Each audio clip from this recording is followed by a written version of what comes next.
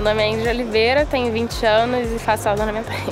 Sou confiante em mim, eu penso as melhores coisas assim para eu conseguir acertar o salto.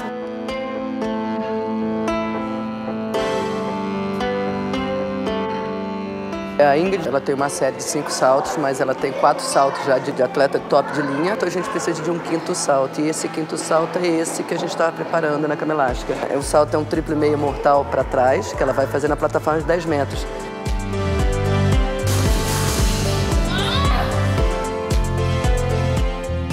Esse salto ele é perigoso para machucar as costas, né? O problema é machucar as costas e ficar parada assim, sem poder treinar.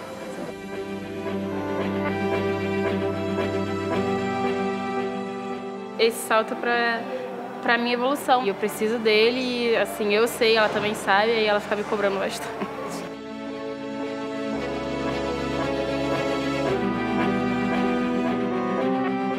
Eu uso isso muitas vezes até para provocar o atleta.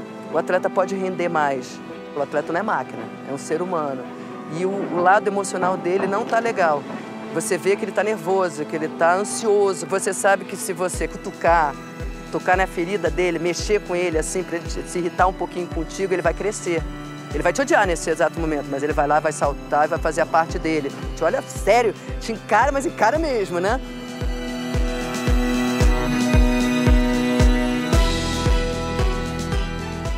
Nome é Giovana Pedroso, eu tenho 17 anos, eu vou estar participando do maior evento esportivo do mundo e a minha maior conquista foi ano passado no Pan-Americano quando eu consegui a medalha de prata no sincronizado de 10 metros com a Ingrid.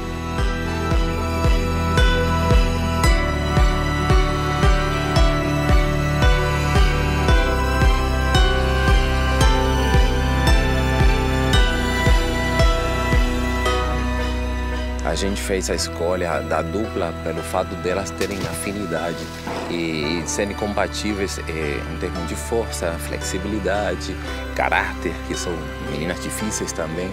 Então, todas as, eh, as características que nos levaram a juntar essa dupla foram características que sabíamos que dariam uma química e que nos dariam resultados como nos têm dado até agora.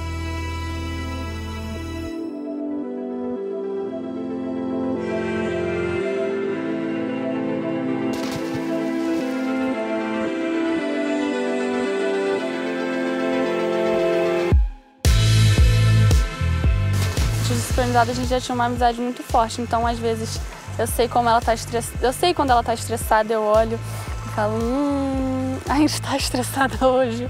Dá pra saber, e ela com certeza sabe também como eu tô.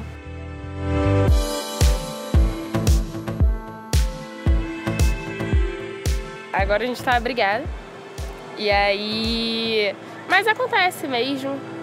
Assim, a gente trata agora no profissional, mas nós éramos bem amigas.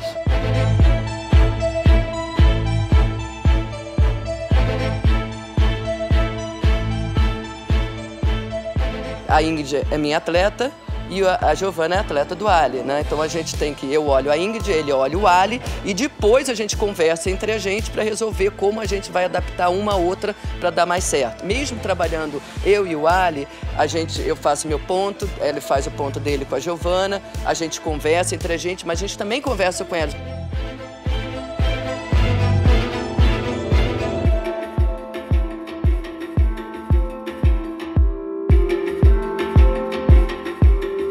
Normal no dia a dia, claro que podem existir atritos, podem existir divergências. Faz parte do nosso dia a dia, dia de felicidade, dias de estresse, dias é, é, conturbados e de crescer realmente como atleta.